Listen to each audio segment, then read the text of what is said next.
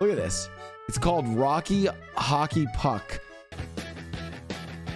This is some 90s video shit. But bro, they show all the goals on me.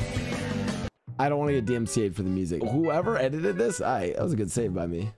Nice, okay.